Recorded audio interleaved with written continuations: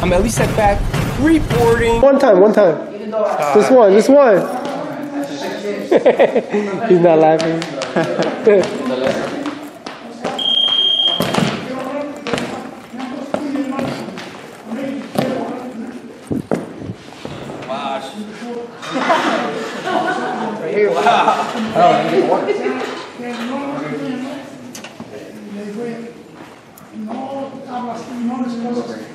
I'll go with this one. Rita, your, your grandpa said that, like, if I see they're fucking around, he's like, I'm gonna move into camp. He's like, I'm even gonna take my wife with me. If we what? If you mess around. He around. sees that you guys mess around. He says, I'm, I'm even gonna take my wife with me, and we'll stay in a little room so she can cook for me. He has a, he has a game plan. No, BG can't go. He cannot go out there. It's, it's not gonna be camp life. Oh, it'll be terrible. It's gonna be county jail life.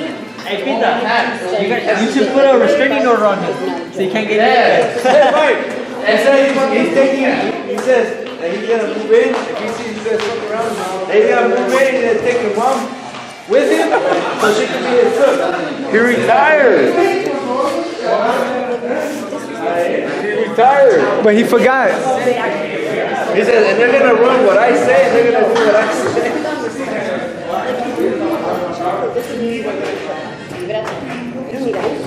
Yeah, usually I don't wear jackets like this. It is cold today. Oh, this is cool. Except the Reporting. Turn up the volume and just sit back. You rockin' with the best. Ellie set back. The wave of the future. We don't lose. Uh-huh. Tell me what you're watching. ES News. He came a long way. All the way from Jerusalem. Heavy on the grind. Competition, he abusing them.